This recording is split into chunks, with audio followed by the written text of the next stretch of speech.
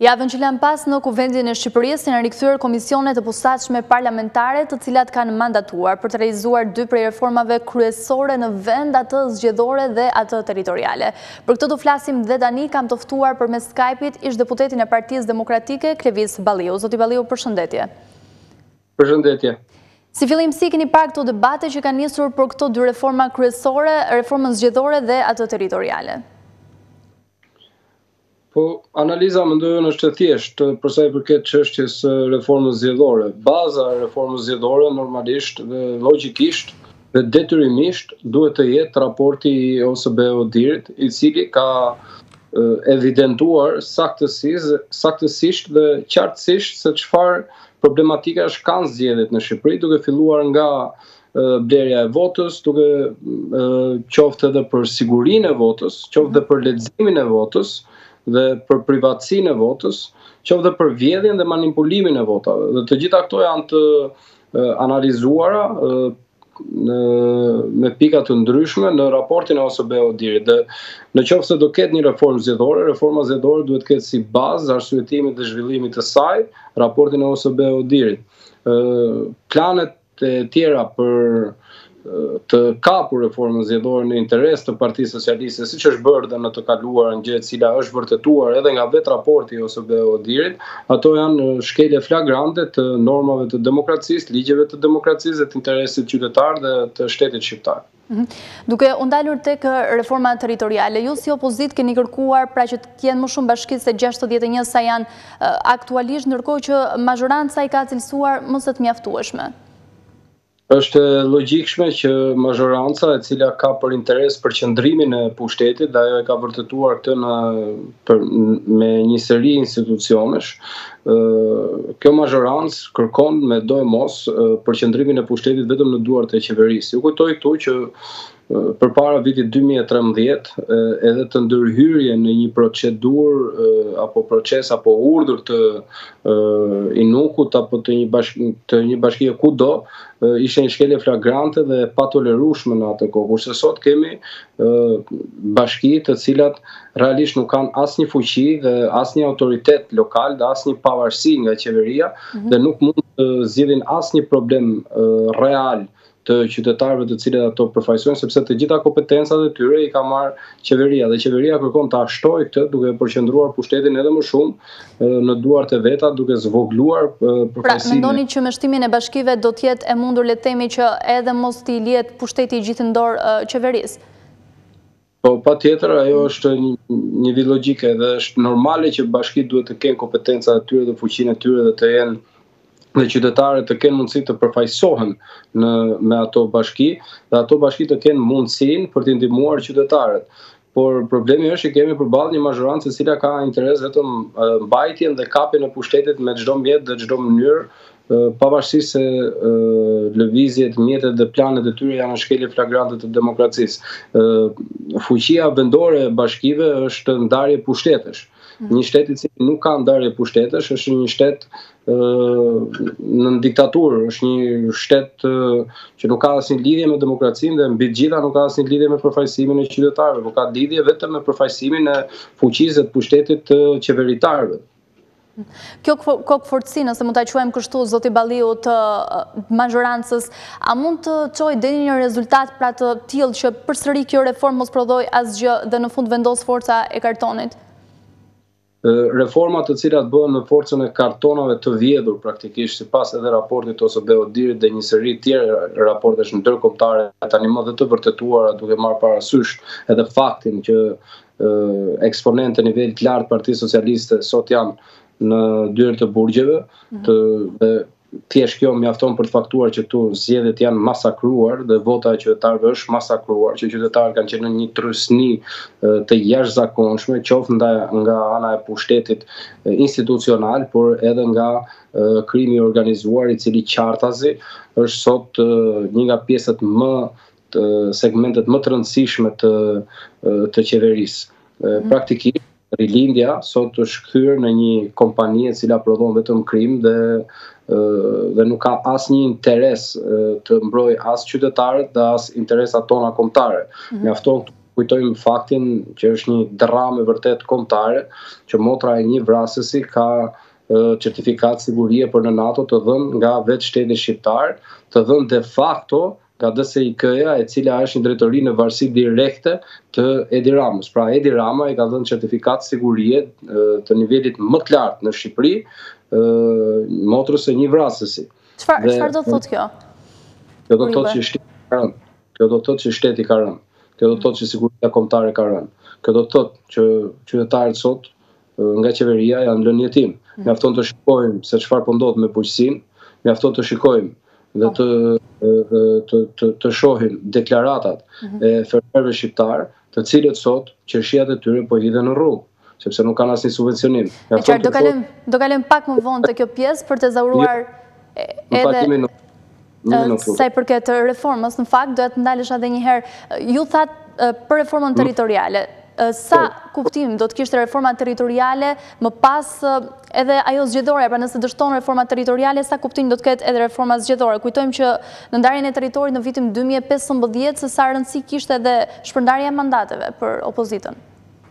E para të gjithash këto qoftë reforma territoriale dhe reforma zgjedhore në parim duhen bërë për të rritur përfaqësimin dhe mirëqenien e qytetarëve shqiptarë. Mm -hmm. Dhe meqëse po flisja për mirëqenien e qytetarëve shqiptarë po. dhe po flisja për çështjen e naftës në Shqipëri, e cila sot ka çmimin më të lartë në rajon dhe një nga çmimet më të larta të Evropës, pa justifikuar as rrogë as gjë për qytetarët shqiptarë dhe fermerët tanë nuk marrin asnjë subvencion, por duhet të punojnë me naftën më të shtrenjtë të rajonit dhe të më shumë vendeve të Evropës, tregon dhe fakton skandalin dhe dramën tonë kombëtare për shkatrimin e sistemit ekonomik të tregut në Shqipëri dhe të mirëqenies së qytetarëve shqiptarë. Reforma territoriale dhe reforma zgjedhore. Të dyja këto janë për interesin e qytetarëve dhe të demokracisë. Sa më e fortë demokracia, aq më të përfaqësuar janë qytetarët. Në qoftë se një reformë bëhet në mënyrë të njëanshme nga një parti politike, cilado qoftë ajo, ajo është një reformë e cila është bërë për interesa partiake dhe jo për interesa të shtetit. Është bërë për interesa personale dhe jo për interesin e qytetarëve. është bërë për interes të pushtetit dhe jo të demokracisë. Dhe në këtë kontekst nuk mund të ketë asnjë reformë dhe asgjë nuk mund të quhet reformë në qoftë se nuk ka një konsensus me Partinë Demokratike, me opozitën në tërësi. Dhe në Prisni që të arrihet një konsensus mes mazhorancës dhe opozitës? Ë mendoj që opozita ka një detyrë për të bërë. Po.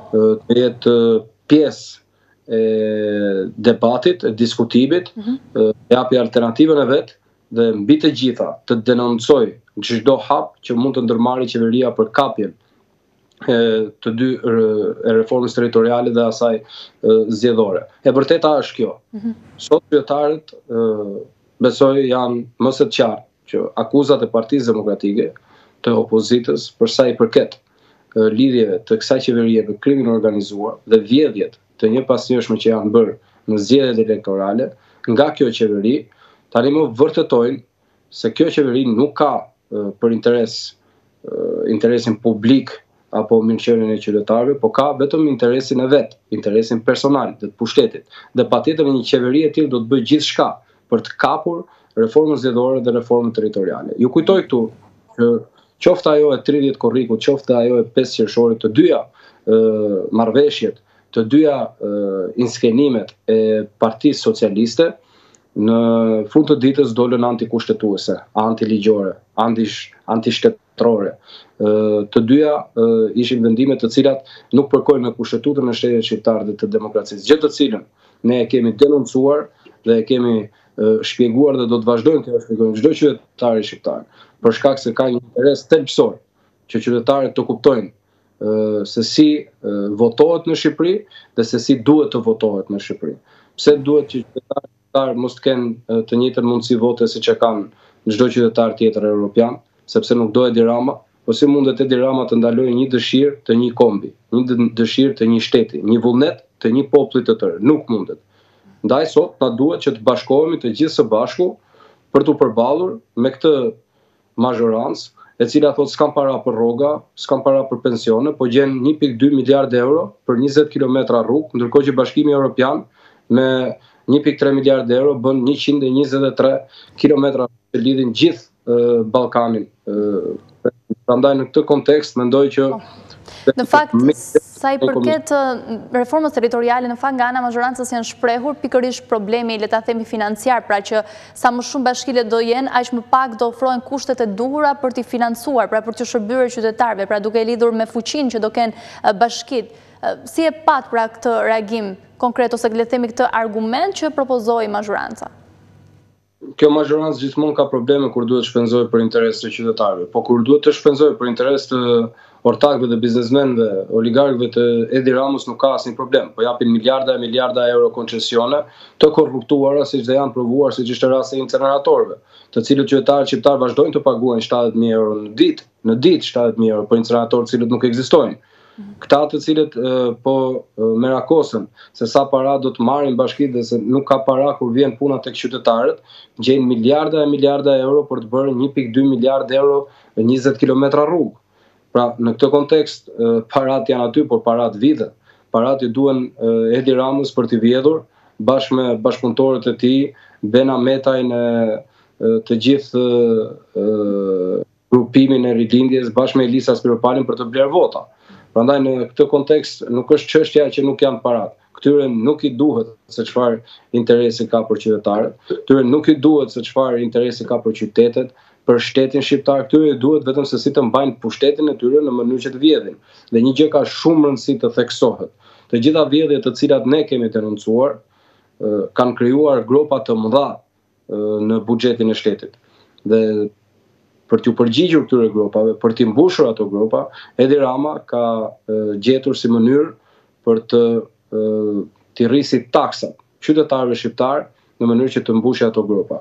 Dhe ndërkohë që qytetarët, bujqësia, ekonomia, tregu shkatërrohet, ndërkohë që tritoli i bandave shpërthen në çdo rrugë të Tiranës, Durrësit, Shkodrës, Vlorës, ndërkohë që krimi zbret me armë në çdo cep të Shqipërisë, ndërkohë që varfëria rritet çdo ditë më shumë, Edi Rama tallet me ta dhe i thonë mos u bëni merak se do sjellin Formula 1 në Shqipëri. Dhe kjo dhe patjetër që këto tallje meritojnë një përgjigje dhe të jetë më se i bindur se do ta marrë një përgjigje shumë të qartë. Ndërkohë, për t'u ndalur edhe njëherë te reforma territoriale, për ta përmbyllur le themi sa i përket këtyre dy çështjeve, nëse do të realizohet apo jo, vetë kreu i KQZ-s në fakt nuk është shprehur shumë optimist, duke thënë se nuk ka mjaftueshëm afat kohor për të bërë një ndryshim të tillë të madh. Në fakt kur vetëm na ndan një vit nga zgjedhjet vendore, mendoni që është gati për të bërë një ndryshim pra harta e bashkive? Mund të realizohet? Unë mendoj që harta ka patjetër nevojë për ndryshime, sepse kemi zona shumë të largëta të cilat, për shembull, unë kam qenë deputet në Pogradec dhe për një njeri që jeton në Mokër, për shembull e vështirë që të niset nga Mokra për të shkuar deri në Korçë, për shembull për të marrë një certifikatë. Mhm. Dhe Patjetër që këto janë të gjitha probleme të cilat qytetarët i ndjejnë dhe ndaj ne mendojmë që duhen shtuar bashkitë dhe mendoj që kohë ka për të zgjidhur probleme, por nuk ka vullnet për të zgjidhur probleme. Qeveria do të bëjë gjithçka për t'i penguar zgjidhjet për qytetarët shqiptarë. Në mënyrë që kjo qeveri të sundojë padrejtësisht, është e nevojshme që ajo të varfërojë dhe të izolojë qytetarët shqiptarë çdo institucion qoftë edhe nga drejtësia. Mos harroni këtu që ndodh një nga krimet më të mëdha juridike në histori të botës, që është ajo reformë ë që ka ndërmarrë qeveria për fshirjen dhe largimin e gjykatave nga qytetet shqiptare. Dhe ajo ka të bëjë po me të njëjtën filozofi, përqendrimin e pushtetit të qeverisë. Njësoj siç duan të lënë në duart e 18 personave gjithë drejtësinë në gjithë Shqipërinë, ashtu po kërkojnë të lënë në duart e disa personave të tjerë fatet e çdo qyteti të Shqipërisë. Çka është absurde dhe realisht nuk i shërben as ekonomisë të vendit dhe as qytetarëve të vendit. Dhe qytetarët e dinë këtë më mirë se çdo kush sepse ata përballen dhe kanë nevojë të përditshme për takime, për t'u njohur, për çështje lokale të qyteteve të tyre dhe të jetës tyre personale, dokumentacioneve të shpijave dhe të tokave të tyre, të cilat Edi Rama kërkon sot t'ua mohojë. Mhm.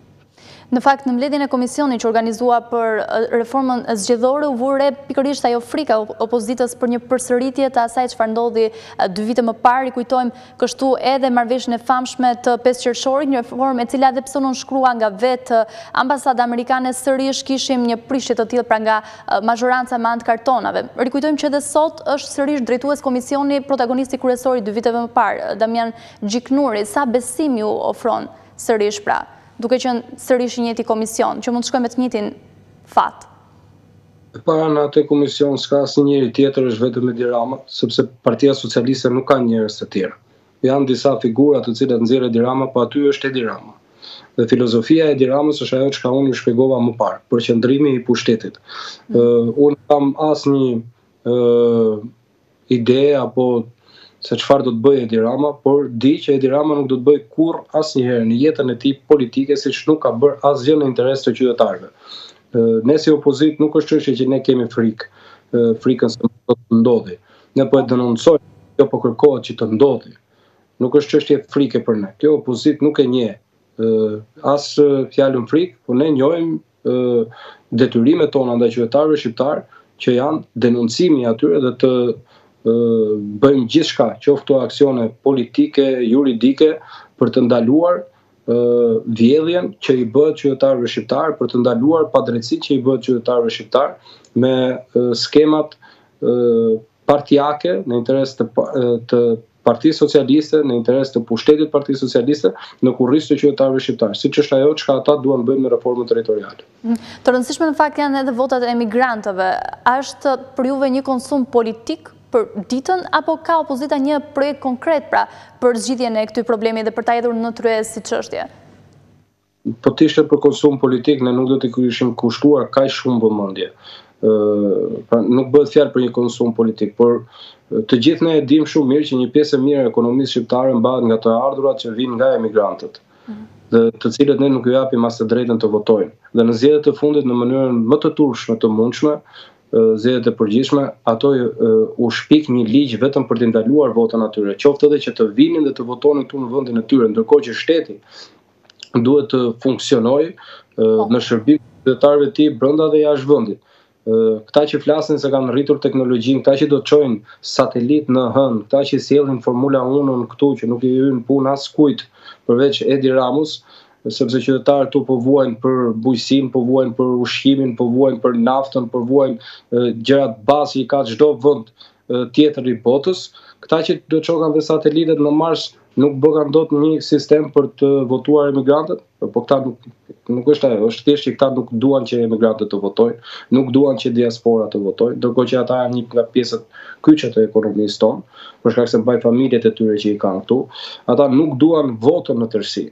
dhe ndaj ata bëjnë gjithçka për ta bllokuar votën kudo që të jetë. Dhe me rastin e emigrantëve është një nga faktet më të pastra se si Edi Rama për shkak të urrejtjes që ka ndaj votës së lirë dhe sistemit të demokracisë dhe përfaqësimit dhe frikës deri diku të fuqisë që kanë qytetarët duke dhënë votën, duke ndryshuar sistemin, ai kërkon t'i ndalojë një të drejtë kushtetuese çdo qytetari shqiptar pavarësisht se ku jeton ai që të Për votën. Po.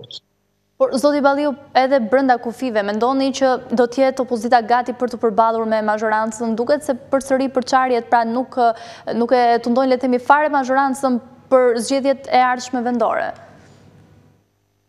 Jo, nuk është se ka ndonjë përçarje më në Partinë Demokratike, patjetër ka një apo dy apo tre individë të tjerë të cilët flasin në emër tyre për veten e tyre, por që nuk kanë lidhje as me strukturat e Partisë Demokratike në kuptimin e autoritetit apo të pushtetit të fuqisë elektorale në politikën shqiptare, jo vetëm në Partinë Demokratike. Prandaj në këtë kontekst nuk ka ndonjë përçarje në Partinë Demokratike më, patjetër unë ndjej keqardhje që disa ish kolegë të mi janë pozicionuar në një vend të të gabuar dhe në shkelje flagrante të parimeve themelore të Partisë Demokratike që është mbrojtja e interesit kombëtar. Por edhe Partia Demokratike sapo krijuar, le themi me kreun e ri, Zotin Berisha, sa gati është për këto zgjedhje që do zhvillohen pas një viti? Ne patjetër që do të ndërmarrim të gjitha hapat e nevojshme për t' u përballur me qeverinë, mm -hmm. dhe do të jemi patjetër gati në zgjedhjet e ardhshme, ne treguam që në pak muaj dimë dhe kemi fuqinë elektorale për të mposhtur Edi Ramën siç ndodhi në Shkodër, dhe më se të bindur të jemi që, të jeni që do të jemi gati për betejat e tjera elektorale. Aq më tepër Partia Demokratike i ka forumet e saj, e ka Këshillin Kombëtar, e ka kryesinë e saj, ka nënkryetarët e saj, ka kryetarin e saj dhe në dhe është më se gati, aq më tepër që dhe kryetarët e degëve tani më janë të zgjedhur dhe jo më të emëruar. Ë pra është më se e qartë që kjo Parti Demokratike me themel të organizimit saj parimin e votës lirë, është sot mëse e gatshme për ta mbrojtur votën dhe për t'i marrë votat e nevojshme për shpëtuar vendin nga kthetrat e Edi Ramës. Ndërkohë si është marrëdhënia juaj tashmë me LSI-në, duket se pas, pra, kur u bë dhe procesi për zgjedhjen e presidentit, kur Zoti Meta e dekretoi Begajn, duket se kishte edhe një gërvishtje le të themi mes Zotit Berisha, pra, si është tashmë marrëdhënia e Partisë Demokratike me LSI-në? E para zoti Meta momentalisht është ende presidenti i Republikës dhe nuk ka ë ë po, kur e dekretoi për ta larguar nga detyra si gjeneral. Por mëse ë aleatët tanë, ku përfshihet dhe LSI-ja, ë patjetër që do të jemi së bashku dhe do të punojmë së bashku dhe marrëdhëniet do të jenë mëse të shkëlqyera. Ne kemi treguar që me po të njëjtët jo vetëm dim të bëjmë opozitë, jo vetëm ë dim të të të garojmë, dim dhe të luftojmë bashkarisht për një interes më të madh se sa interesat tona të vogla partiake. Mhm. Shteti shqiptar sot është në një përballje për të mbrojtur veten e vet, për të mbrojtur qytetarët e vet. Edi Rama dhe rrëzimi i tij është sot interes kombëtar. Gjithçka duhet bërë për ta rrëzuar atë. Kur flasim për interes kombëtar dhe kur flasim për shpëtimin e shtetit shqiptar dhe të popullit shqiptar nga kthetrat dhe politikat diskriminuese dhe shkatërruese për xhepat e qytetarëve shqiptarë, për shkatërrimin e demokracisë që ka që e ka marrë Edi Rama si mision, gjithçka duhet bërë për ta rrëzuar Edi Ramën dhe qeverinë e tij. Rrëzimi i tij është jetik. për qytetarët shqiptarë, është jetik për kombin shqiptar. Shikoni se çfarë po bën Kosovën, shikoni si e ka çuar dhe ka ndërruar, ka ndërruar trajtën e shtetit shqiptar, duket Tirana si një Beograd i vogël, dukemi si skllevër të Vuçiçit, thjesht dhe vetëm se është ai skllav i Vuçiçit, se është ai brenda interesit. Po. Prandaj largimi i tij është interes kombëtar dhe do të bëjmë gjithçka që është e nevojshme për ta larguar nga karrigia që sot ka vjedhur. Për ta përmbyllur, ju përmendët dhe vetë pra le të themi reagimet e qytetarëve në këto kohë të vështira që vijnë edhe si pasojë e rritjes së çmimeve dhe krizës. Ndërkohë, unë fakt kam një pyetje, kur do dalë opozita në shesh për të protestuar? Pra, jo si qytetarë të thjeshtë, por si një opozitë, ashtu siç dolën dje në Shkup? Apo do prisni shtatorin? Jeni më se të bindur që çdo gjë, çdo masë do të merret për t'u për t'u përballur me Edi Ramën dhe për të ngritur interesat e qytetarëve dhe për të përfaqësuar interesat e qytetarëve jo vetëm në parlament, por edhe në çdo shesh të Shqipërisë. Por dua t'ju them diçka që çështja për të cilën po luftojmë ne nuk është një çështje e vogël që mund zgjidhet me një debat.